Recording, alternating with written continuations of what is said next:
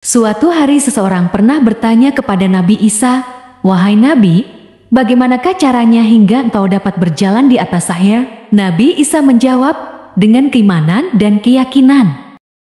Assalamualaikum warahmatullahi wabarakatuh. Sahabat beriman, pada topik kali ini saya ingin membahas tentang kisah kaum Hawariyun yang menyaksikan Nabi Isa berjalan di atas air. Bagaimana kisah selanjutnya? Mari kita nonton bersama.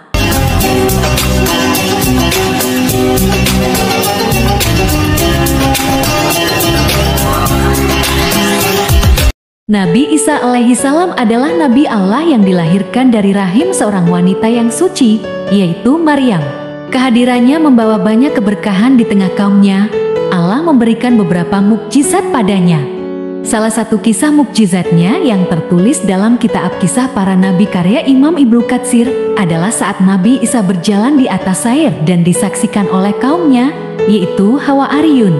Abu Bakar bin Abi Dunia meriwayatkan dari seseorang yang tak disebutkan namanya, dari Hajat bin Muhammad, dari Abu Hilal Muhammad bin Sulaiman.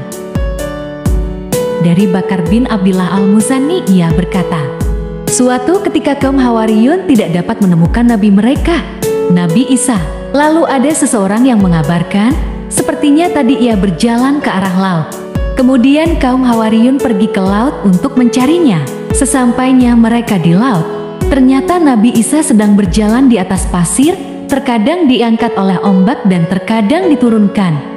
Pakaian yang digunakannya tak seperti biasa, jubah panjang dari atas hingga kaki. Kali ini ia mengenakan baju atasan dan kain di bagian bawah.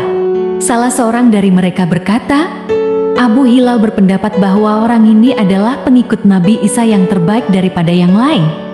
Bolehkah aku ikut bersamamu wahai Nabi? Nabi Isa menjawab, boleh sekali. Kemudian orang itu pun melangkahkan satu kakinya ke air. Kemudian ia mencoba kakinya yang kedua ke dalam air. Keduanya pun akhirnya masuk ke dalamnya. Setelah masuk kakinya, orang itu berkata, Aduh, kakiku tenggelam wahai Nabi Isa. Beliau pun menjawab menawarkan bantuannya. Peganglah tanganku, wahai orang yang sedikit imannya. Kalau saja manusia memiliki ilmu yakin sebesar biji gandum saja, maka mereka pasti sudah dapat berjalan di atas air.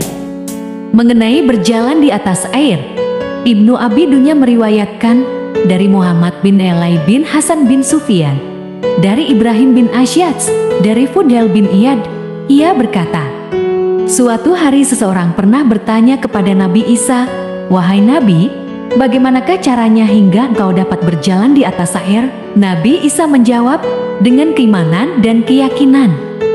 Kemudian kaum Hawariyin berkata, Bukankah kami sudah beriman sebagaimana engkau beriman? Dan bukankah kami sudah meyakini seperti keyakinanmu? Nabi Isa menjawab, Jika benar demikian, maka kalian pasti dapat berjalan di atas air. Lalu mereka pun mencoba menaiki ombak seperti yang dilakukan Isa. Namun mereka tenggelam ke dalam ombak. Nabi Isa pun berkata kepada mereka, apa yang terjadi kepada kalian? Kami takut dengan ombak ini, mereka menjawab. Nabi Isa pun menanggapi jawaban mereka, Mengapa kalian tidak alihkan rasa takut kalian kepada Tuhan pemilik ombak ini? Kemudian Isa menarik mereka semua ke tepian pantai. Setelah sampai ke tepian, Nabi Isa memukulkan tangannya ke tanah dan ia menggenggam pasir di tangannya. Dibukalah kedua telapak tangan beliau dan kemudian pasir itu berubah menjadi emas, sedangkan dia telapak lainnya berubah menjadi batu yang keras.